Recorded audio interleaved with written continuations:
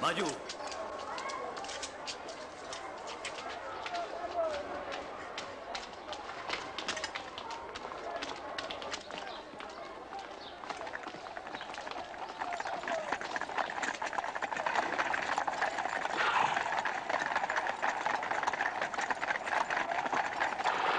Wong kabeh banjur padha mbekta Yesus ngadhep marang Pilatus, salah sijining panggedhe ing negara Rum kang paling kejem kang wis nyalipake wong ewon cacahe.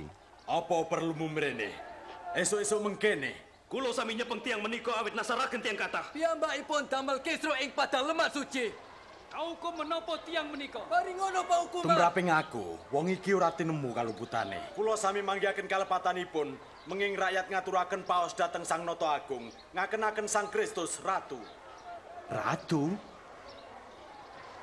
Panjenengan ratunipun tiang Yahudi. Panjenengan sampun mastani. Piyambakipun miwiti ing Galileo. Lasa menika dumugi ing mriki. Ing Galileo? Apa priyayi iki saka Galileo? Yen mangkono, cek ben Prabu Herodes kang ngurus.